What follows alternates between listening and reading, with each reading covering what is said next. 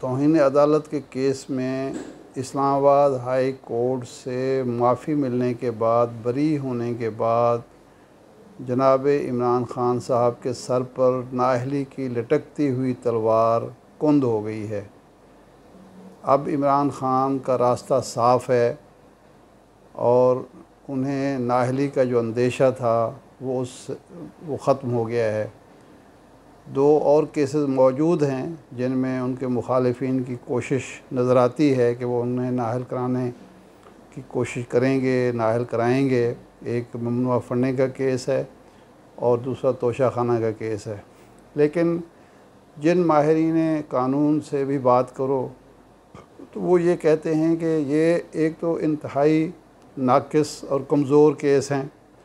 और अगर सियासी बुनियादों पर किसी दबाव के तहत इमरान ख़ान के ख़िलाफ़ फ़ैसला भी आ जाए तो इमरान ख़ान के पास अपील का हक मौजूद है, हाई कोर्ट में भी और सुप्रीम कोर्ट में भी। और जिस केस में अपील का हक मौजूद है, उससे बरी होना कोई आसान नहीं होता, वो केस लटक जाता है और जो ही हालात बदलते हैं, मौसम, सियासी मौसम तब्दील होता है, रियासत का मूड और मिजाज तब्दील होता है तो उसके साथ ही साथ जो पैमाने हैं अदल इंसाफ के उनमें भी काफ़ी नरमी आ जाती है और फिर किसी बड़े सियासतदान का, मकबूल सियासतदान का नाहल होना या रहना मुमकिन नहीं रहता। मियाँ नवाज़ साहब की मिसाल मौजूद है कि उनको सुप्रीम कोर्ट ने नाहल किया, जो नाहली आज तक बरकरार है। मरीम नवाज़ साहब की नाहली जो थी, वो एक सेशन कोर्ट ने की जिसमें अपील का हक मौजूद था। वो इस्लामाबाद हाई कोर्ट में अपील में गई और उनको रिलीफ मिल गया। अब वो इलेक्शन भी लड़ सकती हैं अब वो सियासत भी कर सकती हैं। अब वो आ, कोई बड़ा अहदा भी ले सकती हैं। अगर वो चाहें या मियाँ नवाज़ साहब चाहें तो वो किसी भी कौमी असम्बली के हल्के से इलेक्शन लड़ कर जीत कर जीतने की सूरत में वो मुल्क की वजी अजम भी बन सकती हैं अपने चचा जान को शबाज शरीफ साहब को इकदार से अलग करके उनका रास्ता साफ़ हो चुका है। क्योंकि उन, उन्हें सज़ा एक ऐसे केस में मिली थी एक ऐसी कोर्ट से मिली थी जिसके बाद उनके लिए अपील का रास्ता खुला हुआ था। जबकि नवाज़ शरीफ साहब की नाहली जो है वो उस कोर्ट से हुई जहाँ रिव्यू पटिशन भी उनकी खारिज हो चुकी है और पूरी कोशिश हो रही है उनके तमाम हमदर्दों की, उनके खैर खाहों की उनको दोबारा सियासत में और इकदार में लाने वालों की ये नाहली ख़त्म हो जाए, लेकिन कोई रास्ता नज़र नहीं आता। नवाज़, जनाब इमरान ख़ान साहब के लिए ये तोहन अदालत का केस इंतहाई अहम केस था, इंतहाई ख़तरनाक मोड़ पर वो पहुँच गए थे। अगर इस्लामाबाद हाई कोर्ट उन्हें एक मिनट की सज़ा भी सुना देती तो वो पाँच साल के लिए नाहल थे और अगला इलेक्शन वो लड़ नहीं सकते थे। और उस नाहली के बाद एक सुप्रीम कोर्ट के एक फ़ैसले की रोशनी में वो पार्टी के सरबराह भी नहीं रह सकते थे। तो इसलिए आज इस्लामाबाद हाई कोर्ट से उनको जो माफ़ी मिली है, उनका केस खारिज हुआ है तो वो रिलैक्स्ड हैं और जो ख़तरात मंडला रहे थे वो ख़त्म हो गए हैं। जिससे ये नतीजा बसानी अक्स किया जा सकता है कि अब इमरान ख़ान साहब को सियासत से आउट करने के लिए और उनको नाहल करने के लिए, उनको इंतबी अमल से आउट करने के लिए जो कोशिशें उनके मुखालफी की तरफ़ से हो रही हैं, वो आहिस्ता आहिस्ता दम तोड़ रही हैं। जो एक इस्लामाबाद में एक फ़ज़ा बनाई गई थी या बनी हुई थी कि इस्टेब्लिशमेंट हर कीमत पर उनको नाहल करना चाहती है और उसके लिए कोई भी रास्ता अख्तियार किया जा सकता है, किसी हद तक भी जाया जा सकता है। आज के फ़ैसले से ये महसूस होता है कि ऐसी बात नहीं है, क्योंकि जो लोग भी कानून जानते हैं, जिन्हें ये मालूम है कि कानून क्या कहता है और कानूनी तरीके से किसी को सियासत से या इंतबी अमल से आउट करने का आसान तरीका कौन सा है या मौसर तरीका कौन सा है, वो अगर इसमें ख्वाहिशमंद हो, होते तो फिर इस केस पर तवज्जो देते और यहाँ से इमरान ख़ान को रिलीफ ना मिलता।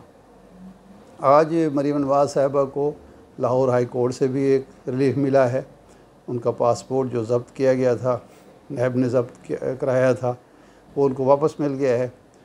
तो आज मरीम साहबा के लिए एक आसानी पैदा हुई है। अब वो बैरून मुल्क जा सकती हैं अपने वालद ग्रामी के साथ बैठ सकती हैं दुख दर्द एक दूसरे को सुना सकती हैं सुन सकती हैं। और वहाँ बैठ के पाकिस्तान की सियासत के हवाले से कुछ अहम फ़ैसले किए जा सकते हैं। आ, कहा तो ये जा रहा है कि मरीम नवाज़ साहबा अब जाएँगी लंदन पहुँचेंगी एवन फ़ील्ड के उन्हीं फ्लैट्स में, अपार्टमेंट्स में रहेंगी, जिनके बारे में शरीफ फैमिली ने पहले ये मौक़ अख्तियार किया कि वो हमारे नहीं हैं। फिर उनको मान लिया कि अल्हम्दुलिल्लाह वो हमारे हैं और उसके बाद फिर उन पे, उनकी बुनियाद पर उनके ख़िलाफ़ अदालती फ़ैसले आए और अब आखिर में जाके अदालतों ने या हमारे निज़ाम अदल ने, अदालतें तो नहीं कहना चाहिए, अदालतों के सामने तो जो चीज़ें होती हैं उसी की रोशनी में जो शवाहद होते हैं, जो दलाइल होते हैं जो दस्तावेज़ी सबूत पेश किए जाते हैं, उनकी रोशनी में उन्हें फ़ैसला करना होता है। लेकिन हमारे निज़ाम अदल ने जब ये फ़ैसला कर लिया कि ये फ़्लैट खा उनकी मिल्कियत हूँ खा वो कोई मनी ट्रेल ना दे सकें, लेकिन फ़्लैट भी उनकी मिल्कियत रहनी चाहिए और कानून भी उनसे बात पोस ना करे तो वो केस खारिज हो गया। और मियाँ नवाशी साहब भी, को भी इसका बहरहाल फ़ायदा होगा जब एक शरीक जुर्म को फ़ायदा हुआ है और उनकी प्ली मानी गई है, अपील मानी गई है तो ज़ाहिर है मियाँ नवाज़ शरीफ साहब की भी मानी जाएगी कि जिस तरह मरीम नवाज़ साहबा बेनिफिशियल ओनर होने के बावजूद नायब ये साबित नहीं कर सका कि वो उनकी मिल्कियत है। इसी तरह नायब शायद अब ये भी साबित ना कर सके कि वो नवाज़ शरीफ साहब की या उनके साहबजादों की मिल्कियत है। और ये केस अदालत में गया ही नहीं कि अगर इनकी मिल्कियत नहीं तो है किसकी मिल्कियत?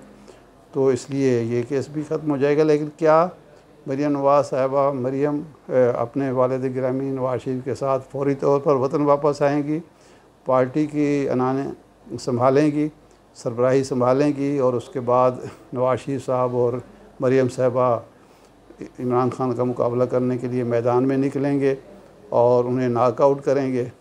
ये फ़िलहाल वसूख से कोई शख्स नहीं कह सकता।